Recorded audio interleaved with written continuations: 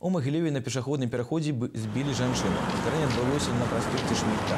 Пешеход атрымала траўмы, на место здарэння прыехала машина хуткай дапамогі. Па словах медыкаў, у пацярпелай шматлікія удары і пералом. Ей прыйшлося шпіталізаваць.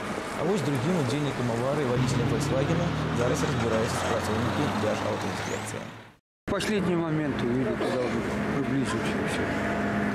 Световозвращающие элементы были? Не светили? Не было. И вот из-за этого куртка-то белая, так не было, не знаю, ничего. Каб прадухіліць аварыі з удзелам пешаходаў, супрацоўнікі дзяржаўтаінспекцыі ўзмацнілі кантроль за выкананнем правілаў усім удзельнікамі дарожнага руху. Каля пешаходных пераходаў вядуцца праверкі. Інспектары сочаць як за вадзіцелямі, так і за пешаходамі. У вобласці праходзіць спецыяльнае комплекснае мерапрыемства пешаход. Сотрудниками госавтоинспекции проводится усиленный контроль, используются автомобили гражданского исполнения. Также привлекаются к этому и сотрудники госавтоинспекции в гражданской форме одежды.